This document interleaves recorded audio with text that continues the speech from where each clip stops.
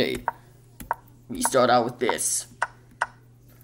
Trade the pawns. Now I get a free pawn. Now I have no choice but to take the knight. So, he takes. Now I decide to do this. He threatens the queen, although I could have taken the knight.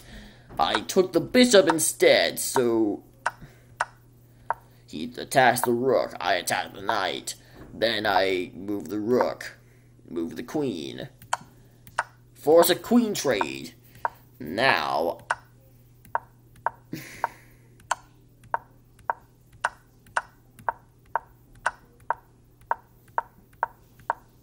this happens. Now, what's he gonna do here? You see this knight? If he moves it, he, he, he can give me in two. If he takes with the rook, he cannot. What does he take with? The knight! So now I can go. So now this rook can prevent, can get mate in two.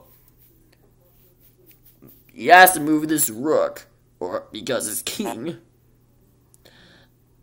He resigned after this, but if the game continued, it would be like this.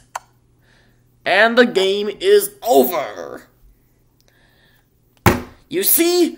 You have to decide which piece you have to take with at first.